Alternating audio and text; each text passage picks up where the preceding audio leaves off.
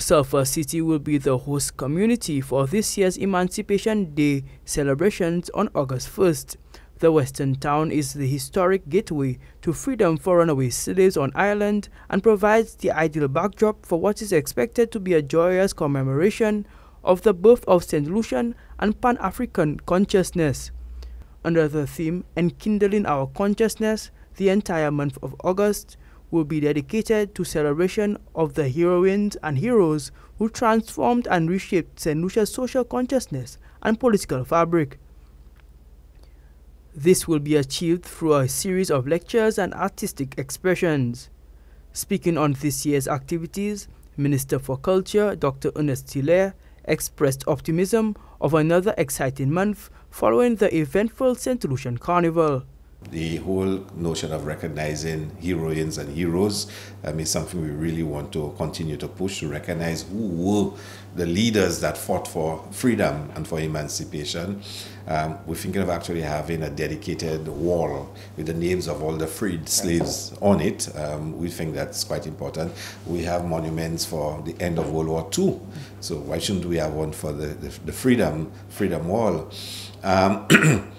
This month, you know, is going to be exciting, and it ends in La Rose, of course, as you know, and and that too um, is an exciting time of, of the of the year.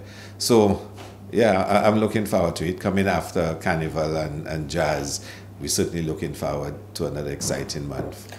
The minister went on to highlight the potential to elevate the festival into an internationally recognized celebration of Pan Africanism. Dr. Hilaire believes that officials can construct a niche market of academic and cultural travelers. I think we can grow it and have it maybe more intellectual academic tourists. You know, a conference on emancipation, on, on Pan Africanism and that kind of thing. Have a real global conference on, on Black thought in literature and whatnot, things like that as part of Emancipation Month, where we attract an entirely different demographic from the, the leisure demographic or the, the event demographic. Um, so it's something we can think about. I, don't think it's the, the nature of it leads to the kind of mass um, numbers that we would have for carnival or jazz or even a cricket, for example.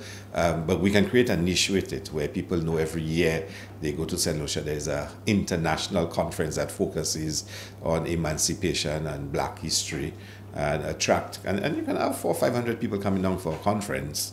Um, so, so that is something we can look at. This year's emancipation festivities began on July 29th with a lecture by Dr. Morgan Dalphinis and will continue this weekend with a reenactment of the Battle of Rabot in Soufriere as well as the Breadfruit Festival. The month-long festival will continue with the La Rose Festival from August 17th and the Day of People of African Descent on August 31st.